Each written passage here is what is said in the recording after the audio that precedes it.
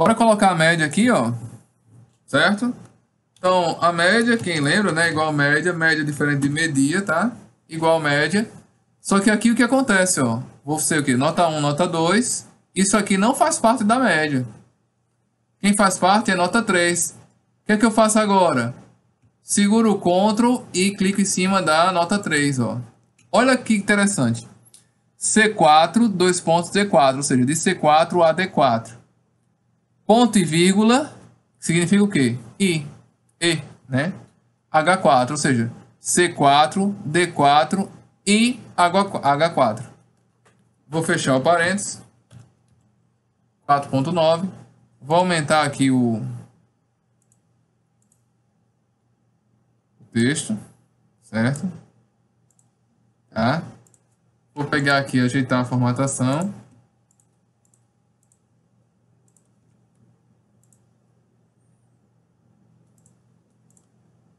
Ok? E para a gente finalizar agora essa parte do calc, a gente, nós vamos ver agora a questão da situação. A situa para usar situa para a situação, a gente vai utilizar uma fórmula chamada uma fórmula chamada se, ok? Então, toda função começa com igual. O nome dessa fórmula é se, abre parênteses. Então, nesse primeiro espaço, eu vou ter o quê? O critério. Depois, eu vou dizer o que vai acontecer se esse critério for verdadeiro.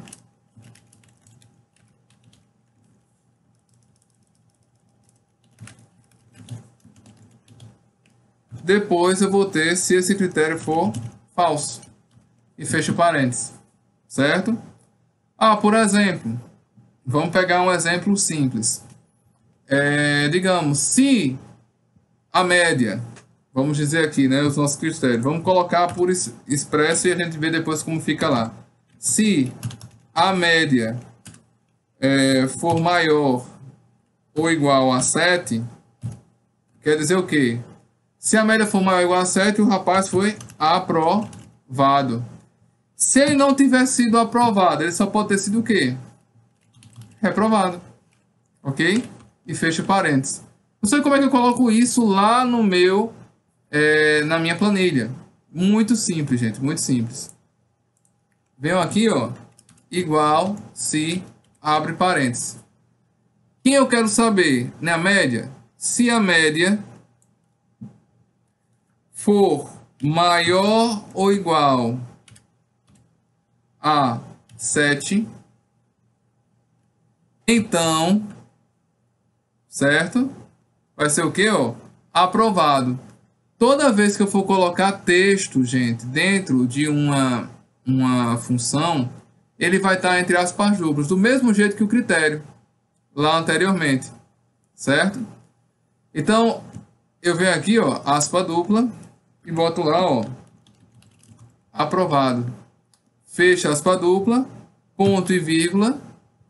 Esse primeiro ponto e vírgula da função sim significa o quê? Então, se a célula que está média for maior ou igual a 7, então vai ser aprovado. Se não, ou seja, o segundo ponto e vírgula, eu leria como se não. Se não, reprovado. Fecha aspa dupla, fecho parênteses e aperto o Enter. Olha que coisa linda. Apareceu eu reprovado. E aqui embaixo, ó, eu vou descendo todo mundo, ó. Eita que tem gente reprovada, meu Deus. Certo? Então, gente, basicamente é isso daí, certo? Reprovado, aprovado. Se mudar aqui a média, professor, por exemplo, digamos que essa nota 1 aqui, o menino na verdade tirou 9. Olha só, já foi para a média 7 e já mudou para aprovado. Ok? Professor, mas assim, aprovado, reprovado, é... E se eu quisesse, é, por exemplo, não, eu não queria fazer aprovado, queria primeiro fazer o critério para reprovado. Como é que eu posso organizar isso. Mesmo jeito, primeira coisa, vamos apagar logo isso aqui.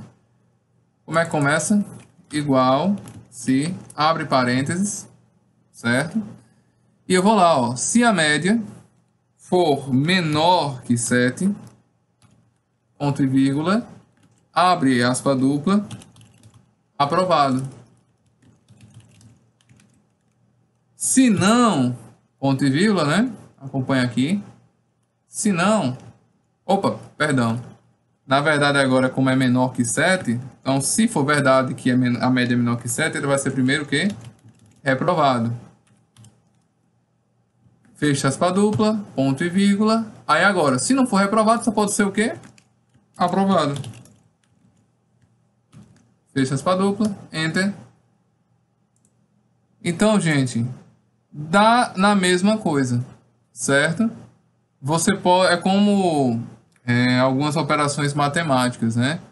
Não inter... A ordem, multiplicação, né? A ordem dos fatores não altera o produto. Então você pode fazer o primeiro reprovado, depois aprovado, ou do jeito que você quiser.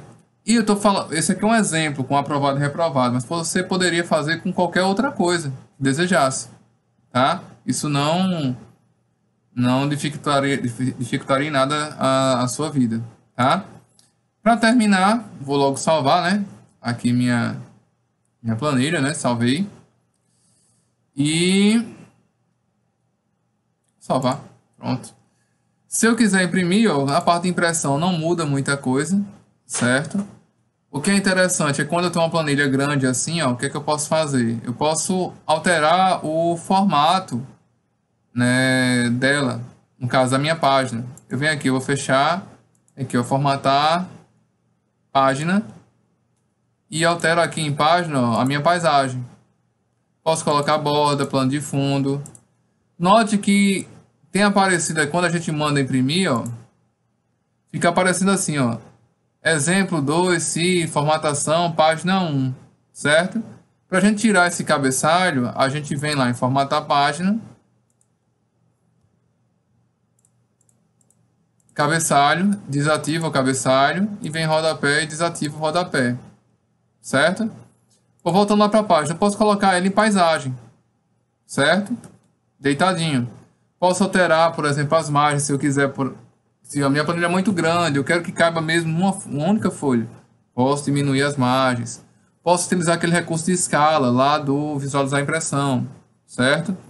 Aqui tem uma opção horizontal e vertical, certo? Que é para o quê? Para você, ó, alinhar toda a sua planilha no meio aqui na parte horizontal ou verticalmente, certo? Vou deixar marcadas essas duas opções. Posso colocar bordas, certo? Na minha página, plano de fundo na minha página também. Vou clicar aqui em OK. Quando eu for lá imprimir, ó, olha a diferença, certo? Ele centralizou a minha planilha. Eu posso aqui, por exemplo, volto aqui, ó, vou fechar aqui, vem aqui visualizar a impressão, eu vou aumentar a escala, para ele ocupar mais espaço da minha página. Fechei, vou imprimir, ó.